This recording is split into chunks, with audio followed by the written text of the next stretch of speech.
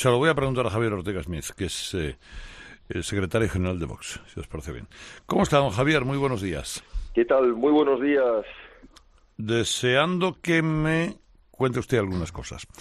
Una de ellas, ¿hasta dónde piensa llevar Vox esta reclamación, es decir, la negativa a asumir este punto del acuerdo, en, en tenor de los escaños que eh, posee en el Parlamento de Andalucía y que podrían tanto permitir ese gobierno como provocar unas nuevas elecciones?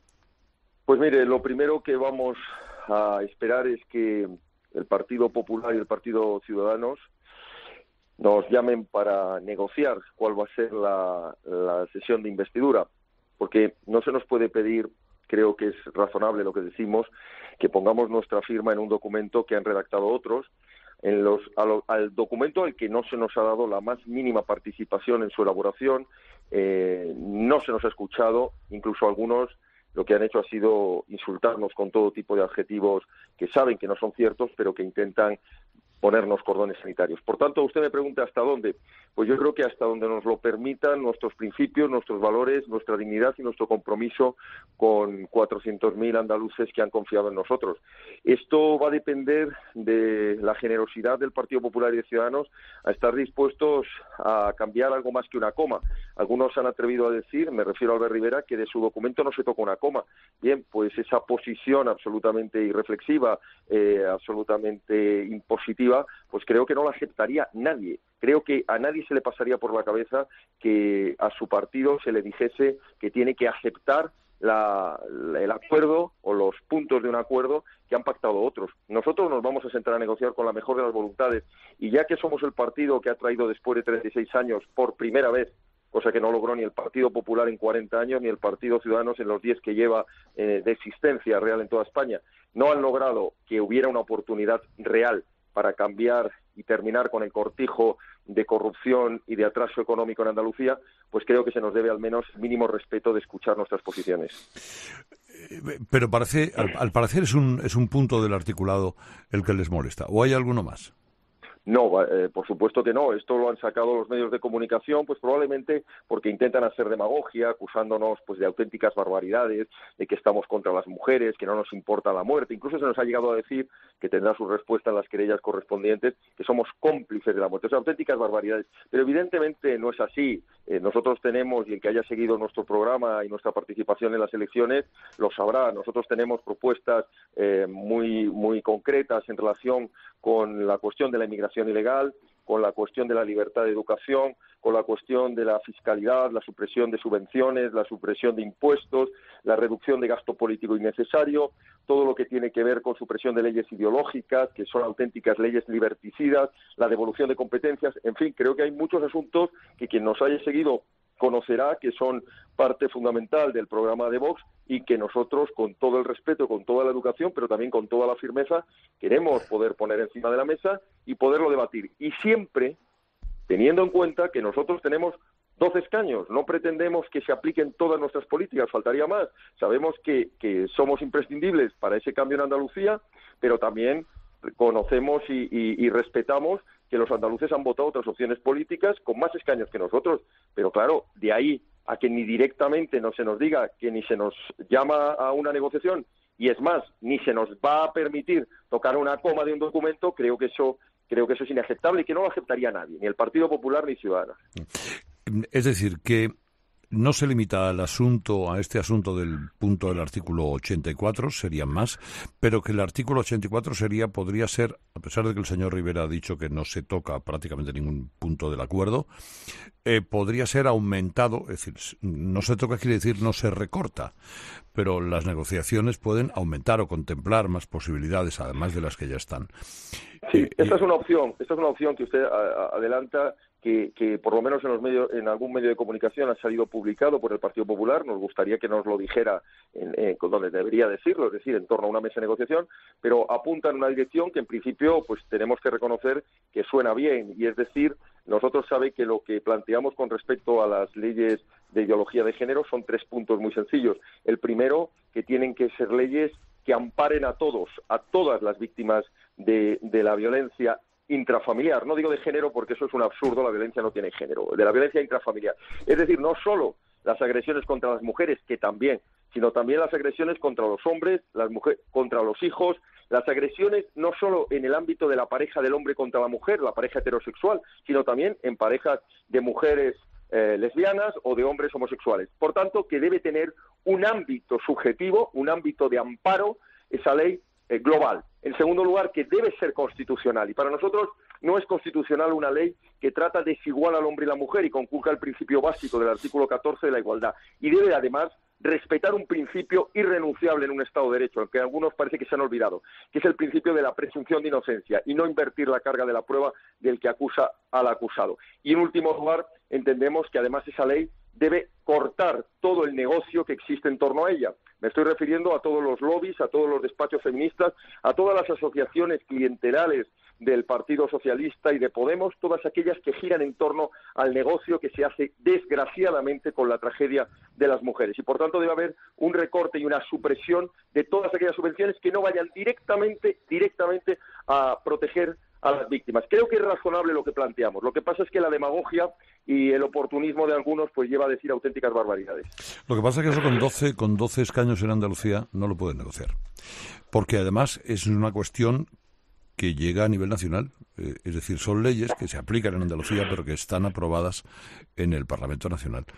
Eh, con lo cual el ámbito es otro. Tiene usted toda la razón. Nosotros no pretendemos, sería absurdo, que desde un Parlamento de Andalucía se modificasen leyes que son de ámbito nacional. Nosotros eh, tenemos claro desde un principio de jerarquía normativa y, y competencial que donde podemos actuar es dentro del marco del Estatuto de Andalucía y dentro del marco de la ley andaluza, andaluza integral de violencia de género. Pero es que créame, ahí hay muchísimo donde, donde modificar para mejorar esa ley, para que sea una ley amplia, para que sea una ley que se ajuste a los principios de, de, principios constitucionales y además una ley que no se permita el negocio. Y otra de las cuestiones que usted me dirá que, que, también ocurren en el ámbito nacional, y yo le doy la razón, pero no quiere decir que no se pueda corregir en el ámbito andaluz, es evitar que vaya a proteger supuestos que son falsos. Quiero decir que se desvíe eh, el ámbito de actuación de la ley a lo que es eh, denuncias falsas utilizadas para conseguir eh, rendimientos en procedimientos de separación y divorcio y eso es lo que no se puede aceptar porque se está haciendo un fraude de ley. Por tanto, creo que hay muchas muchas partes de esa ley que son muy mejorables y que nosotros, si tuviéramos mayoría, la derogaríamos y la sustituiríamos por una ley de violencia intrafamiliar, pero como no la tenemos, sabemos que podemos al menos eh, lograr que los aspectos más, eh, más, más inaceptables de esa ley eh, sean modificados mediante, mediante estos aspectos que le estoy comentando.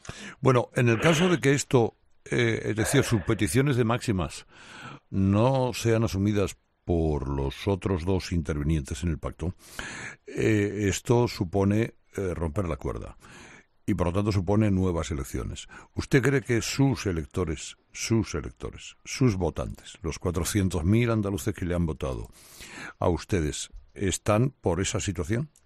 Mire, lo primero, permítame que, que, amablemente le, le, discuta la, la, la mayor, la primera.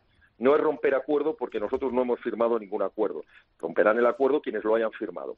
Nosotros de investidura y de gobierno no tenemos firmado ningún acuerdo. El único acuerdo que hemos firmado es de constitución de la mesa y lo hemos cumplido a rajatabla una vez que se cumplió la premisa creemos que absolutamente lógica y justa de que Vox tuviera un representante en la mesa del Parlamento y de que quien pretendía nuestros votos, que era la presidenta candidata de Ciudadanos, Marta Bosquet, por lo menos se dignase en pedirnos esos votos.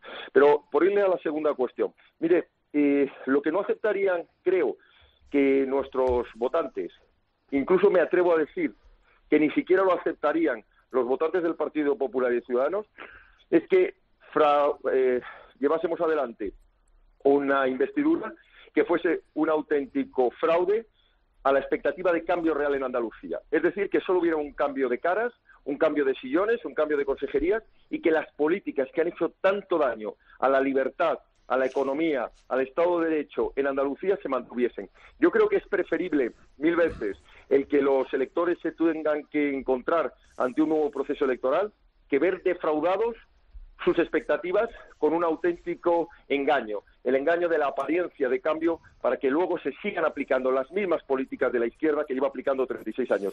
Yo creo que eso es lo que no nos perdonarían ni nuestros electores, ni me atrevo a decir ni siquiera quienes han votado al Partido Popular y Ciudadanos. Pero Javier, permítame una consideración. El pragmatismo en política resulta elemental. Y hay cosas, ese tipo de cosas, que se pueden solucionar cuando el acuerdo está firmado, cuando el gobierno ha echado a gobernar. Para gobernar van a, necesitar sus votos en cualquier caso, para sacar adelante proyectos. Ese es el momento en el que se negocian las cosas. Pero cuando se ha podido conseguir el mandato principal que creo yo o entiendo yo, hemos dicho los andaluces en las urnas, que es que se releve, que haya un cambio en la dirección política de la Junta de Andalucía. Tiene usted toda la razón y nosotros somos conscientes de que, y así lo hemos dicho. Pues no me dé tanto la razón y haga usted lo que... No, no, es que le doy la razón, pero, pero me va a entender usted en lo que digo. Le doy la razón en que, evidentemente, y eso lo hemos mantenido en todo momento, el día a día del, del devenir parlamentario, ley a ley, hay que votarla y ahí necesitarán nuestros votos. Pero fíjese, hay algunos que lo que van a utilizar es decir, no, usted la hipótesis, usted nos dio la investidura y usted nos está bloqueando el gobierno. Esto es un juego que es el de pretender que el malo de la película sea Vox, en vez de reconocer que gracias a Vox, gracias a la irrupción de Vox, ha existido una primera oportunidad, porque no había habido hasta ahora ninguna para que hubiera ese cambio. Si estamos hablando de cambios, precisamente eso. Y ha habido algunos que su respuesta ha sido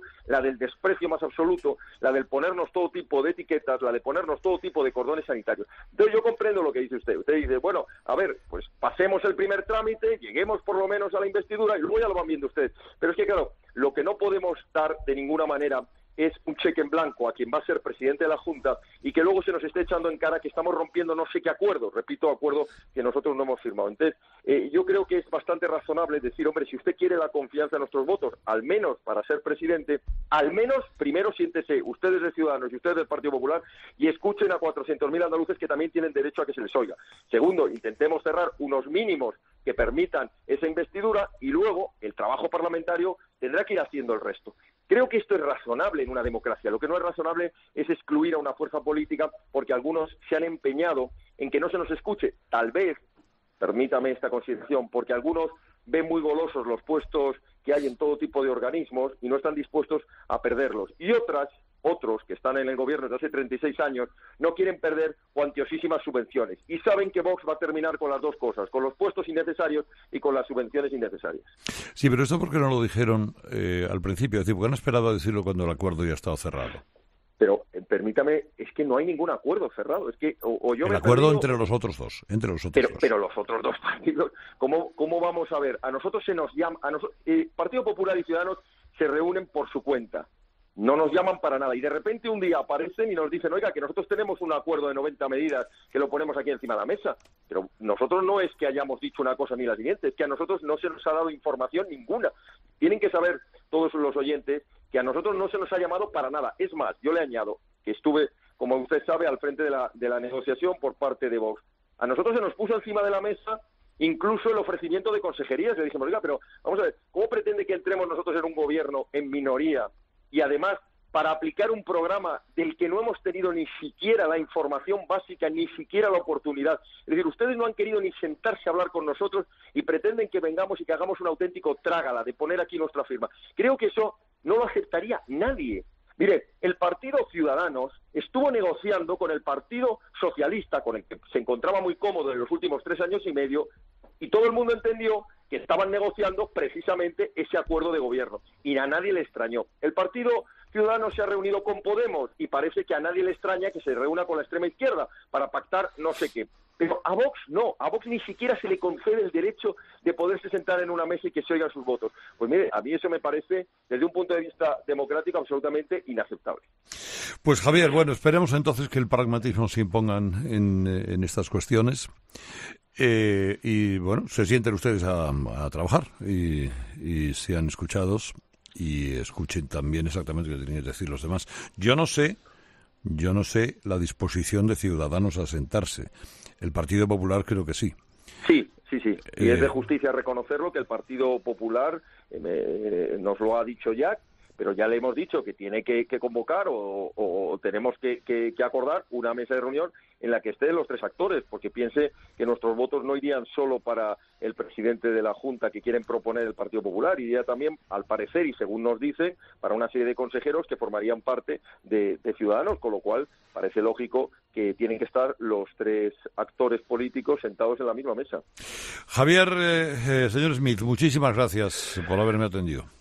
Muchísimas gracias a ustedes, feliz año y cuente con que nosotros haremos todo lo que sea bueno para Andalucía y para España. Lo demás, no nos cuenten con nosotros. Gracias, Javier.